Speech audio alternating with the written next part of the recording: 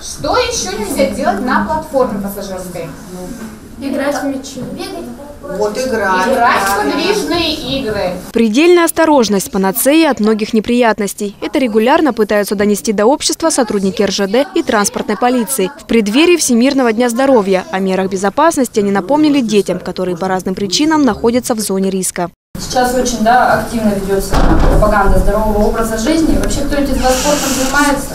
是啊。На сегодняшний день в Парусе Надежды реабилитацию проходят 126 детей. И в основном это несовершеннолетние, социально неблагополучных, незащищенных семей. Поэтому дополнительное внимание и контроль им необходимы. Очень часто у нас такие совместные мероприятия, они носят чаще профилактическую направленность и касаются вообще безопасности жизнедеятельности, касаются, а, ну, скажем так, профилактики правонарушений, потому что у нас есть и очень взрослые дети, это подростки, которые а, имеют риск противоправных действий. Поэтому помощь сотрудников полиции в этом отношении для нас очень важна. После прочтения лекции наступила самая интересная для ребят часть программы – спартакиада. Соревновались взрослые дети, что еще больше разогрело азарт.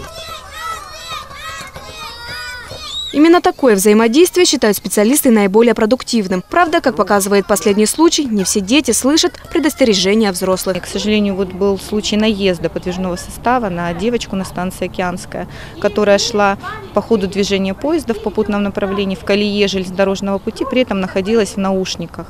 Самое, конечно, печальное в этой ситуации, что накануне проводилась беседа с сотрудниками МВД в данной школе, в данном классе о правилах нахождения на железнодорожных путях. Это пример негативный, но показательный для других детей, по крайней мере, на данный момент. Я буду мироосторожен и знать буду больше о безопасности. Не ходить по, до- по железной дороге и не слушать наушники, когда идешь возле железной дороги. Предостеречь от опасности – миссия важная. Но к детям гости пришли не с пустыми руками. Всем ребятам они вручили сладкие призы, спортивный инвентарь и наборы для творчества. И хоть реабилитационный центр финансируется из краевого бюджета, дополнительная помощь и подарки никогда не лишние. Не все дети получают э, те блага, то внимание, обеспечение, которое вообще должны получать. Вот. Поэтому у моих детей все хорошо, у моих друзей все хорошо. Поэтому мы должны и э, всем миром э, делать так, чтобы и вот этим детям, которые не обездолены какой-то, значит, и вниманием, и материально,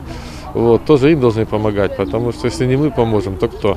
Немного внимания и приятные подарки. Казалось бы, малость, но в глазах этих детей появился блеск, а на лицах счастливые улыбки. Алина Черненко, Станислав Лазебный. Новости на восьмом.